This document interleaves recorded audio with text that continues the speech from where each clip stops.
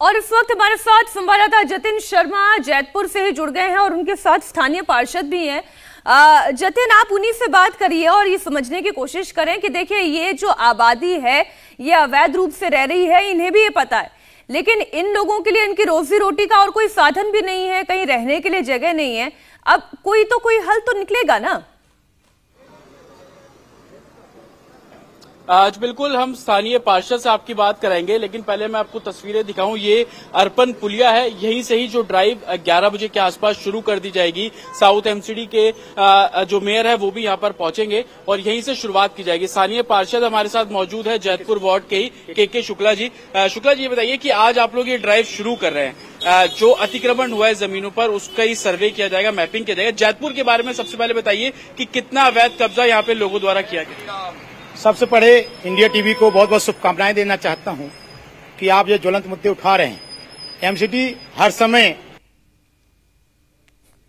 ये रूटीन एक प्रक्रिया है। दो हफ़्ते पहले भी हमने हटाया था, जहांगीरपुरी कांड के पहले भी हटाया था।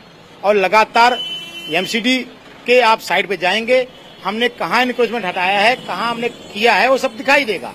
अब रही बात इनक्रोचमेंट ड्राइव की बात जो कह रहे हैं, हम उन इनलीगल निर्माणों को हटाना चाहते हैं, जो जमुना बेल्ट में है, जो यूपी इरिगेशन के ज़मीन पे है, जो डीडीए के ज़मीन पे है, जो रोड को कब्जा कर रखा है, ऐसे लोग जो माफिया तबके लोग उनका मनोबल डाउन करना चाहते हैं, जो लोग इसमें पूरी तरह संलिप्त हैं, जमुना तक को कब्जा कर लिया लोगों ने, ऐसे लोगों को पहचाने।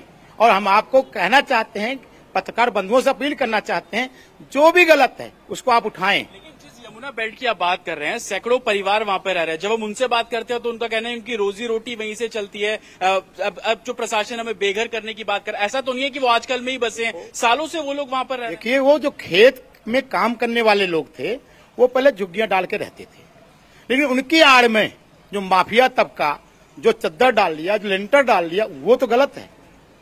वो जो खेत के लोग काम करने वाले लोग थे जो घास फूस के छप्पर डाल के रहते थे और वहाँ खेती करते थे उनके लिए तो कोई प्रॉब्लम ही नहीं है।